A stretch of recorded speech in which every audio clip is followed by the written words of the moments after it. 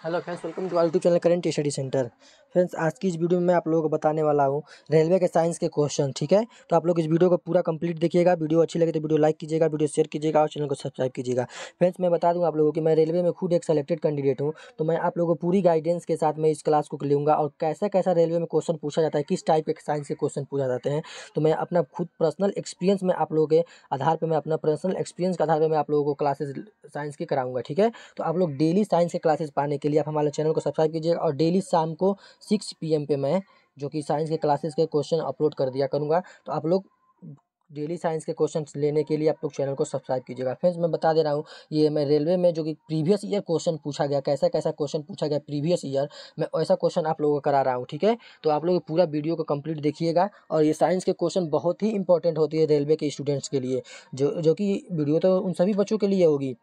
जो बच्चे government exams की तैयारी करते हैं, जिस भी जिस भी जिस भी एग्ज़ाम में साइंस के क्वेश्चन पूछ जाते हैं, क्योंकि साइंस के क्वेश्चन इससे बाहर ज़्यादा कुछ नहीं पूछा जाता है, ठीक है, जो मैं कराऊँगा आप लोगों को। तो लेकिन ये खासकर से वीडियो रेलवे के स्टूडेंट्स के लिए इंपॉर्टेंट होने वाली है, क्योंकि रेलवे में एक, साइंस का ही एक अलग से ही पूरा तीस, पच्चीस, तीस क्वेश्चन पूछा जाता है। तो इस वीडियो में साइंस के बच्चे केयरफुली देखेंगे और वीडियो को डेली देखने के लिए और डेली साइंस से क्वेश्चन पाने के लिए चैनल को सब्सक्राइब कर दीजिएगा। और सिक्स पी पे मैं आप लोगों को बता दे रहा हूँ कि साइंस के क्वेश्चन का डेली मैं क्लासेस अपलोड कर दिया करूँगा। और मैं बता दूँ कि इस चैनल पर डेली मैं करेंट अफेयर्स की वीडियो भी अपलोड करता हूँ। तो करंट अफेयर्स की वीडियो भी पाने के लिए आप हमारे चैनल को सब्सक्राइब कीजिएगा और जो भी क्लासेस की पी फ़ाइल होंगी, उस पीडीएफ फ़ाइल को मैं अपने टेलीग्राम चैनल पर जो अपलोड कर देता हूँ और टेलीग्राम चैनल पर मैं हर एक नोटिफिकेशन भी अपलोड कर देता हूँ। तो आप लोग वीडियो के डिस्क्रिप्शन बॉक्स में टेलीग्राम चैनल का लिंक है तो जाकर वहाँ से आप लोग टेलीग्राम चैनल भी ज्वाइन कर सकते हैं। और वीडियो के डिस्क्रिप्शन बॉक्स में ग्रुप, फेसबुक पेज का लिंक, में फेसबुक ग्रुप का लिंक भी जो भी सारा कुछ लिंक है, सारा कुछ डिस्क्रिप्शन बॉक्स में दे दिया हूँ तो आप लोग जाकर वहाँ से ज्वाइन करके हर एक अपडेट पाने के लिए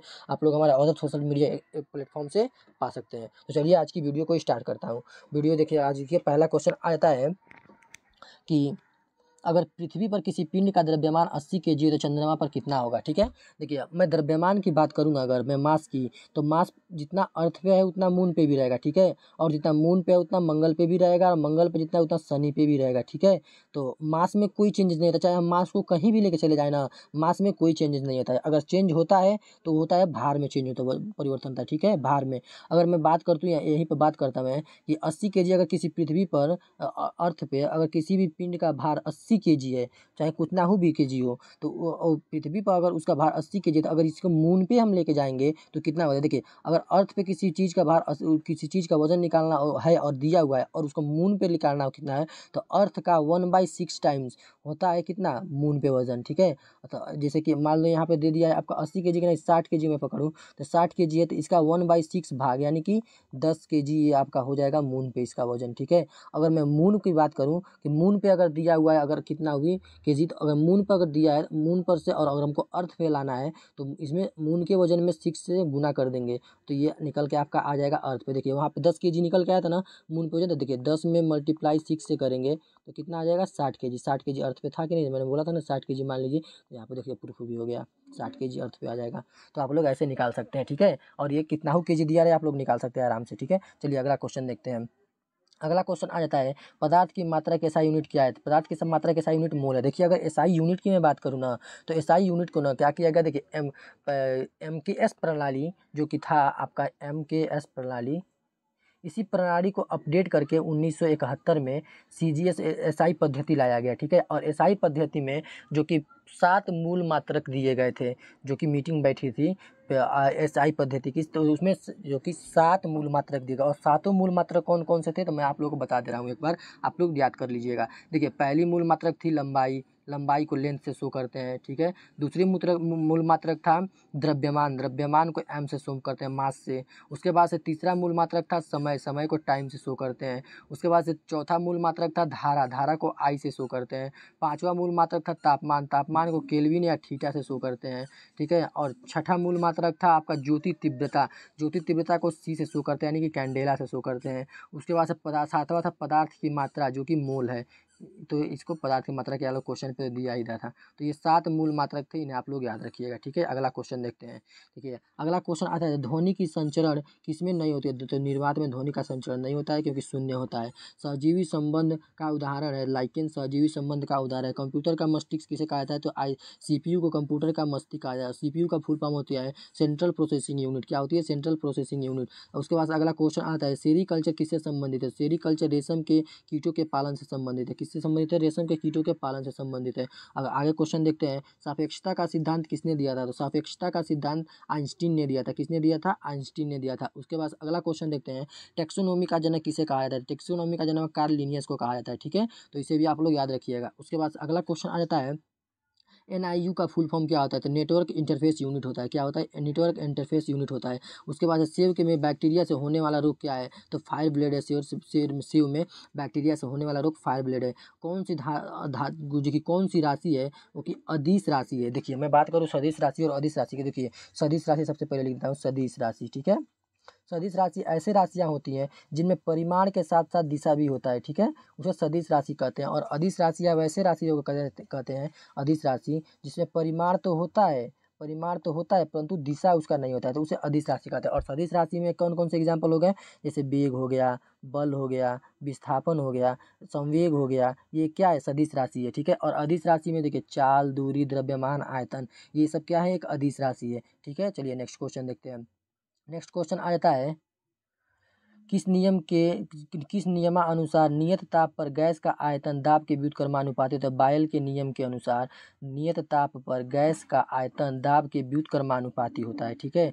वायु प्रदूषण का संकेत क्या है? लाइकिन है। वायु प्रदूषण का संकेत क्या है? लाइकिन है। इसे भी आप लोग याद रखें। फ्रेंड्स, मैं आप लोगों को बता दूँ कि आप लोग कंटेंट को बनाने में जो कि ये बहुत मेहनत लगता है वीडियो क्रिएट करने में फिर एडिट करने फिर कंटेंट सारा कुछ तो आप लोग इस चैनल को सब्सक्राइब कीजिएगा क्योंकि और डेली में कर, कर साइंस के क्वेश्चन अपलोड कर किया करूँगा तो आप लोग चैनल को सब्सक्राइब कीजिएगा डेली क्लासेस पाने के लिए और वीडियो की जो भी पीडीएफ फ़ाइल होंगी जो भी क्लासेस की पीडीएफ फ़ाइल होंगी चाहे नोटिफिकेशन गवर्नमेंट एग्ज़ाम के फॉर्म के लिए चाहे कौन सा फॉर्म कैसे अप्लाई होगा उसका सारा कुछ अपडेट मैं टेलीग्राम चैनल पर अपलोड कर देता हूँ, चाहे फेसबुक पेज पर पे अपलोड कर देता हूँ तो आप लोग वीडियो के डिस्क्रिप्शन बॉक्स में सारा कुछ का लिंक दिया है जाकर आप लोग फटाफट ज्वाइन कर लीजिएगा। और डेली करंट अफेयर्स की पीडीएफ फ़ाइल आप लोगों भी हमारे टेलीग्राम चैनल से ज्वाइन कर, ज्वाइन करके डाउनलोड कर सकते हैं। चलिए अगला क्वेश्चन देखते हैं। अगला क्वेश्चन आ जाता है एच टी टी पी का फुल फॉर्म कि ये दो फुल फॉर्म के क्वेश्चन है, इसे आप लोग याद रखिएगा, ठीक है? अगला मैं क्वेश्चन देखते हूँ, देखिए। पित्त शरीर के किस भाग से स्रावित होता है? तो लीवर से स्रावित होता है, ठीक है? Thumba equatorial rocket launching station क्यों महत्वपूर्ण है? देखिए, ये क्वेश्चन इंपॉर्टेंट क्वेश्चन है, मैं आप लोगों को पूरा डिटेल्स के बारे, में इस क्वेश्चन के बारे में बता दे रहा हूँ। देखिए, ये क्यों इंपॉर्टेंट है? क्योंकि यह पृथ्वी के भूमध्य रेखा बहुत, पृथ्वी, क्योंकि देखिए, क्योंकि यह पृथ्वी के भूमध्य रेखा के बहुत करीब है। अब इसका मतलब क्या हुआ? देखिए, इसका मतलब मैं आप लोग को बता दे रहा हूँ। देखिए आप लोगों को पता ही है अपना अर्थ है, ठीक? और अर्थ में तीन महत्वपूर्ण रेखाएँ हैं। कौन कौन सी रेखाएँ हैं? देखिए, मैं आप लोगों को बता दे रहा हूँ पूरा डिटेल्स में इस क्वेश्चन को। तीन महत्वपूर्ण रेखाएँ हैं। ये एक रेखा हो गया, एक रेखा ये और एक रेखा ये। तीन महत्वपूर्ण रेखाएँ होती हैं। इस रेखा को कहते हैं ज़ीरो डिग्री। इस रेखा को कहते हैं twenty three point five degree north. इस रेखा को कहते हैं twenty three point five degree south, ठीक है? और इस रेखा का नाम क्या है? इस रेखा का नाम है कर्क रेखा, ठीक है? और इस रेखा का नाम क्या है? मकर रेखा। ठीक है? इंडिया का भी लॉन्चिंग स्टेशन देखिएगा ना अपना। तो साउथ इंडिया में ही इंडिया का लॉन्चिंग स्टेशन जो कि सतीश धवन, अंतरिक्ष केंद्र श्रीहरिकोटा आंध्र प्रदेश है, ठीक है? वो भी साउथ इंडिया में ही है वो लॉन्चिंग स्टेशन क्यों इंडिया चाहे तो जम्मू कश्मीर में अपना लॉन्चिंग स्टेशन नहीं बना सकता है, क्योंकि इंडिया तो यहाँ पे कर्क रेखा पे है, ठीक है? इंडिया कर्क रेखा पर लेकिन वो भी बनाया है साउथ इंडिया में। क्यों? क्योंकि वहाँ से जो कि भूमध्य रेखा की दूरी है, क्योंकि वो नज़दीक पड़ेगी। अब आप सोचिए, देखिए, यहाँ पे से यहाँ तक की दूरी नज़दीक नहीं पड़ेगी, और यहाँ से जम्मू कश्मीर आपका यहाँ है तो यहाँ से दूरी, दूर डिस्टेंस पड़ेगी नहीं? चाहे इंडिया का ही नहीं, चाहे कोई भी कंट्री हो ना वो भूमध्य रेखा के करीब में ही बनाएगा अपना लॉन्चिंग स्टेशन क्यों? क्योंकि यहाँ पे ज़ीरो जो जो कि जी का मान होता है ना गुरुत्वी त्वरण का मान होता है, वो शून्य होता है। और यहाँ से लॉकेट रॉकेट को ना लॉन्च करने में आसानी होती है। जितना ही कम डिस्टेंस होगा भूमध्य रेखा से, उतना ही लॉन्चिंग जो कि लॉन्च करने में लॉन्चिंग स्टेशन से लॉन्च करने में जो कि रॉकेट को आसानी होता है। इस कारण से जो कोई भी लॉन्चिंग स्टेशन बनाया जाता है, किसी भी देश का चाहे किसी भी कंट्री का तो भूमध्य रेखा के करीब में ही बनाया जाता है, ठीक है? इसे आप लोग याद रखिएगा। चलिए नेक्स्ट क्वेश्चन देखते हैं। नेक्स्ट क्वेश्चन आ जाता है फ्रेंड्स मैं आप लोग बता दे रहा हूँ कि वीडियो रेलवे के एग्ज़ाम रेलवे के बच्चों के लिए बहुत इंपॉर्टेंट होने वाली है, ठीक है? तो आप लोग पूरा वीडियो देखिएगा। देखिए सर, अगला क्वेश्चन आता है, सर्वग्राही रक्त समूह कौन सा? सर्वग्राही, देखिए, सर्वग्राही जो रक्त समूह है, वो ए बी इसे टिक से आप लोग याद कर सकते हैं। देखिए, अमिताभ बच्चन कोई भी मूवी एक्सेप्ट कर लेते हैं। मतलब ए बी से मतलब अमिताभ बच्चन कोई भी मूवी एक्सेप्ट कर लेते हैं। मतलब सर्वग्राही है वो। सर्वग्राही मतलब ए बी सर्वग्राही रक्त समूह कौन है? ए बी और सर्वदाता रक्त समूह कौन सा होता है? तो सर्वदाता रक्त समूह होता है ओ ठीक है? तो इसे भी आप लोग याद रखिएगा। अगला क्वेश्चन आ जाता है। अगला क्वेश्चन आ जाता है, भारत का प्रथम सुपर कंप्यूटर कौन सा था? परम एट थाउज़ेंड था। कौन सा? परम एट थाउज़ेंड था। चलिए अगला क्वेश्चन देखते हैं। अगला क्वेश्चन आ जाता है कि सब मानव शरीर का पीएच रेंज कितना होता है? तो मानव शरीर का पीएच रेंज होता है सेवन पॉइंट थ्री फाइव से लेकर के सेवन पॉइंट फोर फाइव के बीच में होता है। नींबू के रस का पीएच मान कितना होता है? तो टू पॉइंट फोर होता है नींबू के पीएच मान का, जो कि रस के पीएच मान होता है, ठीक है? विटामिन बी की कमी से कौन सा रोग होता है? विटामिन बी की कमी से बेरी बेरी होता है और विटामिन ए की कमी से कौन सा रोग होता है? तो रतौंदी विटामिन ए की कमी से होता है, ठीक है? पाइथन क्या है? पाइथन एक प्रोग्राम जो कि है प्रोग्रामिंग लैंग्वेज देखिए पाइथन क्या है? पाइथन एक है प्रोग्रामिंग लैंग्वेज है, ठीक है? इसे भी आप लोग याद रखिए। ब्रायोफाइटा वर्ग का पौधा है। तो ब्रायोफाइटा वर्ग का पौधा क्या है? जो कि ये था मार्सिनिया और एक है ये लीवर बर्ड ठीक है? चूने के पानी का सूत्र क्या होता है? कि चूने का पानी का सूत्र होता है सी ए ओ एच का होल ट्वाइस क्या होता है? सी ए ओ एच का होल ट्वाइस होता है, ठीक है? और सी ए ओ एच की मैं बात करूँ तो सी A O H O H का मतलब ये फॉर्मूला हो गया, इसका नेम केमिकल नेम क्या हो जाएगा? तो कैल्शियम हाइड्रोक्साइड हो जाएगा, ठीक है? कैल्शियम हाइड्रोक्साइड तो इसे भी आप लोग याद रखिए। चलिए, अगला क्वेश्चन देखते हैं। अगला क्वेश्चन आता है, रक्त परिसंचरण तंत्र का हिस्सा नहीं है तो बड़ी आंत रक्त परिसंचरण तंत्र का हिस्सा नहीं है। बिंग बैंग थ्योरी किसने दिया था? तो big bang theory George Lemaitre ने दिया था। किसने? जॉर्ज लेमेंटर ने दिया था। कौन सी उपधातु है? तो सिलिकॉन और जर्मेनियम एक उपधातु है। पॉलिथीन किसका बहुलक है? पॉलिथीन एरिथिलीन का बहुलक है। मायोपिया के उपचार में कौन सा लेंस प्रयोग किया जाता है तो अवतल लेंस प्रयोग किया जाता है मायोपिया के उपचार के लिए। अब देखिए, अवतल लेंस और उत्तर लेंस की मैं बात करूँ तो अवतल लेंस को आप लोग कैसे देखिए किसी कितना देखिए, एग्ज़ाम में कभी कभी पूछ आपको डायरेक्ट लेंस की फिगर दे देगा, पूछ देगा ये कौन सा लेंस है तो कैसे आप लोग पहचानिएगा देखिए, अवतल लेंस में क्या होता है, बीच में पतला और किनारों पर मोटा होता है अवतल लेंस कुछ इस तरह होता है, और उत्तर लेंस किनारों पर पतला और बीच में मोटा होता है, इस तरह से उत्तर लेंस होता है, ठीक है? ये उत्तर लेंस का फिगर है, ये अवतल लेंस का फिगर है जैसे भी आप लोग याद रखिएगा। देखिए, किनारों पर मोटा और बीच बीच में पतला और किनारों पर मोटा तो ये उत्तर अवतल लेंस हो गया, ठीक है? ऐसे। और उत्तर लेंस किनारों पर पतला और बीच में मोटा होता है, ये उत्तर लेंस होता है, ठीक है? तो इसे भी आप लोग याद रखिएगा। अगला क्वेश्चन देखते हैं, चलिए। अगला क्वेश्चन आ जाता है एक के में कितना बाइट होता है तो एक केवी में एक हज़ार चौबीस बाइट होता है। मेरुरज्जु किसमें, किससे जुड़ा है? तो ब्रेन से जुड़ा है मेरुरज्जु ब्रेन से जुड़ा है, ठीक है? तो इसे भी आप लोग याद रखिएगा। अगला क्वेश्चन देखते हैं। कोशिका की खोज किसने की थी? तो रॉबर्ट हुक ने उन्नीस सौ रॉबर्ट हुक ने सोलह सौ पैंसठ ईस्वी में कोशिका की खोज की थी, ठीक है? उसे भी आप लोग याद रखिएगा। अगला क्वेश्चन आता है, चूने के पानी में कौन सॉरी, यहाँ पे, कौन सा एनी, कौन सा एनिमिलिया वर्ग से संबंधित है? तो ये, जो कि क्यूलेक्स मच्छर जो है एनीमिलिया रोग से संबंधित है। चूने का पानी में कौन सी गैस प्रसार, जो कि प्रवाहित करने पर दूधिया हो जाता है? देखिए, चूने में, जो कि चूने का पानी, उसमें कौन सा गैस को हम डाले? दूधिया, यानी कि दुधलापन का हो जाता है, सादा तो हल्का हल्का व्हाइट दूधिया मतलब हो जाता है। तो कार्बन डाइऑक्साइड को डालने पर वो दूधिया हो जाता है। बरगद का वैज्ञानिक नाम क्या है? तो बरगद का वैज्ञानिक नाम होता है। फिकस बेंगालेसिस, फिकस बेंगालेसिस होता है, ठीक है? बल का ऐसा यूनिट न्यूटन होता है, आप लोगों को मैं बता दे रहा हूँ, ठीक है? मिथेन का सूत्र क्या होता है? मिथेन का सूत्र होता है सी एच फोर ठीक होता है? क्या होता है? सी एच फोर होता है। अगला क्वेश्चन देखते हैं। यू आर एल का फुल फॉर्म होता है। यू आर एल का फुल फॉर्म होता है।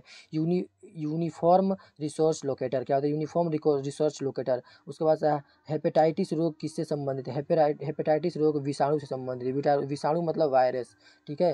हेपेटाइटिस रोग विषाणु से संबंधित है, नहीं, वायरस रखिएगा, ठीक है? चलिए, फ्रेंड्स, मैं आप लोग बता दूँ कि ये पूरा एक सेट मैं आप लोगों कराया हूँ, जो कि रेलवे के प्रीवियस ईयर क्वेश्चन पूछे गए हैं एनटीपीसी में। तो इस वीडियो रेलवे के सभी बच्चों के लिए बहुत इंपॉर्टेंट होने वाली है। तो वीडियो को आप लोग लाइक कीजिएगा, वीडियो अच्छी लगी तो वीडियो शेयर कीजिएगा और चैनल को सब्सक्राइब कीजिएगा। और इस चैनल पर मैं डेली करंट अफेयर्स की वीडियो अपलोड करता हूँ। और गवर्नमेंट एग्ज़ाम्स की वैकेंसीज कोई आ गया तो उसका इन्फॉर्मेशन अपलोड करता हूँ। कौन से फॉर्म अप्लाई होगा, उसका भी इन्फॉर्मेशन मैं इस वीडियो पर अपलोड कर चैनल पर अपलोड कर देता हूँ। तो डेली आप लोग वीडियो पाने इसके लिए आप लोग हमारे चैनल को सब्सक्राइब कीजिएगा वीडियो अच्छी लगी तो वीडियो लाइक कीजिएगा वीडियो शेयर कीजिएगा। थैंक्स फॉर वॉचिंग यानी कि वायरस से संबंधित हेपेटाइटिस रोग, ठीक है? तो इसे भी आप लोग याद रखिएगा। चलिए अगला क्वेश्चन देखते हैं।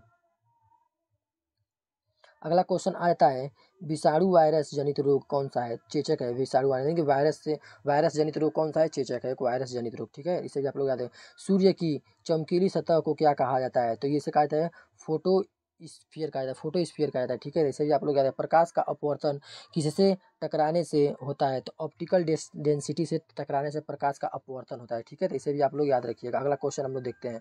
अगला क्वेश्चन आ जाता है, छोटी आंत में उंगलीनुमा संरचना क्या कहलाती है? तो अंगूर, अंकुर कहलाती है। क्या कहलाती है? अंकुर कहलाती है। छोटी आंत में उंगलीनुमा संरचना जो होती है। किस उपकरण की सहायता से पेड़ पौधों की वृद्धि का गणना किया जाता है? तो ये है ऑक्सीजनोमीटर से पेड़ पौधे की वृद्धि का गणना किया जाता है। ऑक्सीजन का संयोजन किसके किसके साथ अधिक होता है? तो ये होता है हीमोग्लोबिन के साथ अधिक होता है ठीक है? तो इसे भी आप लोग याद रखें किसी कंप्यूटर पीढ़ी में वैक्यूम ट्यूब का प्रयोग किया गया था। किस कंप्यूटर पीढ़ी में वैक्यूम ट्यूब का प्रयोग किया गया था? तो प्रथम पीढ़ी में किया गया था, ठीक है? तो इसे भी आप लोग साथ में याद रखिएगा। अगला क्वेश्चन देखते हैं। गोलीय दर्पण में, गोलीय दर्पण के सेंटर पॉइंट को क्या कहा जाता है? ध्रुव कहा जाता है, यानी कि पोल कहा जाता है, ठीक है? लैक्टिक एसिड में कितने कार्बन होते हैं? तो लैक्टिक एसिड में तीन कार्बन होते हैं। देखिए लैक्टिक एसिड लैक्टिक एसिड की मैं बात करूँ तो लैक्टिक एसिड का फॉर्मूला क्या होता है? लैक्टिक एसिड का फॉर्मूला हो जाएगा C three H six O three ठीक है? तो देखिए सी थ्री यानी कि कार्बन कितना आया? तीन आया ना? तो सी थ्री और एच सिक्स हाइड्रोजन कितना आया? सिक्स आया। और ऑक्सीजन कितना आया? तीन आया। था तो C six H three O six हो जाता है। ये लैक्टिक एसिड का फॉर्मूला है, ठीक है?